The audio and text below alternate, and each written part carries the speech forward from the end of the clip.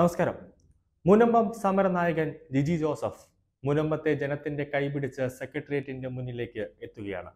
തങ്ങൾക്ക് നീതി വേണമെന്നാവശ്യപ്പെട്ട മുനമ്പത്ത് ജനങ്ങൾ കുറച്ചു നാളായി നടത്തിവരുന്ന റിലേ സത്യാഗ്രഹത്തിന്റെ നായകത്വമേറ്റ് മുനമ്പത്ത് കാൽനട യാത്ര നടത്തി ജനശ്രദ്ധ പിടിച്ചുപറ്റിയ ജിജി ജോസഫ് ഇതിനൊരു അന്ത്യം കണ്ടിട്ടേ പുറകോട്ടുള്ളൂ എന്ന് പറഞ്ഞാണ് നാളെ സെക്രട്ടേറിയറ്റിന്റെ പടിക്കലിലേക്ക് എത്തുന്നത്.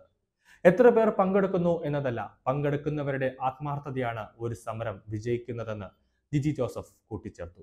ധർണ മുൻ കേന്ദ്രമന്ത്രി വി മുരളീധരൻ ഉദ്ഘാടനം ചെയ്യും. കേരളത്തിലെ നൂറ്റി നാൽപ്പത് ജനപ്രതിനിധികളും കേന്ദ്ര സർക്കാർ കൊണ്ടുവരുന്ന വഖഫ് ഭേദഗതി ബില്ലിനെ എതിർത്ത് പ്രമേയം പാസാക്കി അയച്ചിരിക്കുന്ന സാഹചര്യത്തിൽ ഭരണത്തിൽ ഇരിക്കുന്നവർ അടക്കമുള്ള ജനപ്രതിനിധികൾ കണ്ണു തുറക്കണമെന്നാവശ്യപ്പെട്ടാണ് ജിജി ജോസഫിന്റെ നീക്കം.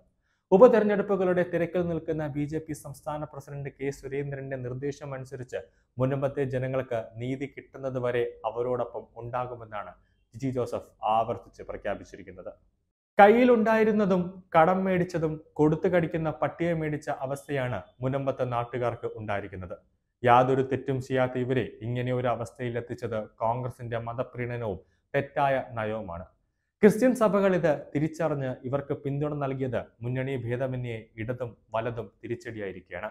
ഇതിനിടയിൽ അടുത്ത ദിവസം കോഴിക്കോട് നടക്കുന്ന മുസ്ലിം ഏകോപന സമിതിയുടെ വഖഫ് ഭേദഗതി ബില്ലിനെതിരെയുള്ള സമ്മേളനം ഉദ്ഘാടനം ചെയ്യാനായി പ്രതിപക്ഷ നേതാവ് കോഴിക്കോട് എത്തുന്നത് വലിയ ചർച്ചയ്ക്ക് ഇടയാവുകയാണ്.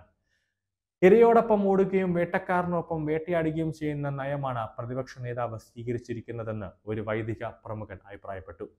കാലാകാലങ്ങളിൽ കോൺഗ്രസിന് വോട്ട് രേഖപ്പെടുത്തി അവരെ നിയമസഭയിലും പാർലമെന്റിൽ എത്തിക്കാൻ ശ്രമിച്ച ഞങ്ങൾ ഈ കഷ്ടപ്പാടുകൾ അനുഭവിക്കാൻ ബാധ്യസ്ഥരാണെന്ന് ആ വൈദികൻ ആത്മഗതം പറഞ്ഞു. ഒരു നിയമ സംവിധാനത്തിൽ ജീവിക്കുന്ന മനുഷ്യരെ തമ്മിലടിപ്പിക്കുന്ന നിയമങ്ങളാണ് കോൺഗ്രസ് സർക്കാരുകൾ പടച്ചുവിട്ടതെന്നും അത്തരം കരി നിയമങ്ങൾക്ക് ഇനി ഈ നാട്ടിൽ ആവശ്യമില്ല എന്നും അദ്ദേഹം വേദനയോടെ പങ്കുവച്ചു.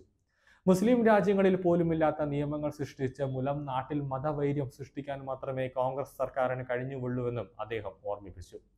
ഏതായാലും തന്റെ സമരപരിപാടികളുമായി താൻ മുന്നോട്ടു പോവുകയാണെന്ന് ജിജി ജോസഫ് ആവർത്തിച്ച് പറഞ്ഞിരിക്കുകയാണ്. താനും തന്റെ പാർട്ടിയും അതിന് ഒരു അന്ത്യം കാണുന്നത് വരെ സാധാരണക്കാരായ മുനമ്പംകാരുടെ കൂടെ ഉണ്ടാകുമെന്ന് ആവർത്തിച്ച് ജിജി ജോസഫ് പറഞ്ഞിരിക്കുകയാണ്.